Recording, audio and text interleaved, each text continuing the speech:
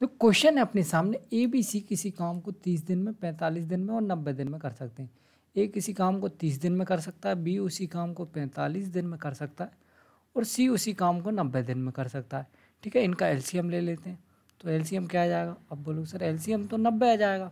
ठीक है एफिशिएंसी की बात करें तो कितनी आ जाएगी? देखो, ये हो जाएगा थ्री टाइम्स इसकी हो जाएगी टू और इसकी हो जाएगी वन ये तीनों की एफिशिएंसी आ गई। अब देखो क्वेश्चन में एक कंडीशन दी है। क्या कंडीशन दी है? कि ए काम को शुरू करता है और बी और सी उसको हर तीसरे दिन में सहायता करते हैं। मतलब पहले दिन काम किसने किया? ए ने। दूसरे दिन आया, दूसरे दिन भी ए ने काम किया। तीसरे दिन ए बी सी तीनों ने काम किया। ठीक है? ऐसे ही चलता रहेगा। फिर चौथा दिन आएगा ए काम करेगा। पाँचवा दिन आएगा ए काम करेगा। छठा दिन आएगा ए बी सी तीनों काम करेंगे।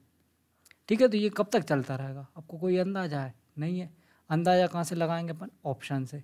ऑप्शन दिख रहा है मेरे को बीस के आसपास। तो बीस के आसपास तीन का मल्टीपल कौन सा होता है तो आप बोलो सर इक्कीस। तो मैंने मान लिया कि इक्कीस दिन तक इनने काम किया। इक्कीस दिन तक इक्कीसवें दिन क्या हो जाएगा? ए बी सी तीनों काम करेंगे। उससे पहले बीसवें दिन किसने काम किया होगा? ए ने काम किया होगा। उन्नीसवें दिन किसने काम किया होगा? ए ने काम किया होगा। अठारहवें दिन ए बी सी तीनों ने काम किया होगा। ठीक है? ये अपन ने मान लिया। अब आप ध्यान से देखो कि ए ने पहले दिन भी काम किया, दूसरे दिन भी काम किया, तीसरे दिन भी काम किया, चौथे दिन भी, पाँचवें दिन भी, छठे दिन भी, अठारहवें दिन भी, उन्नीसवें दिन भी, बीसवें दिन भी, इक्कीसवें दिन भी।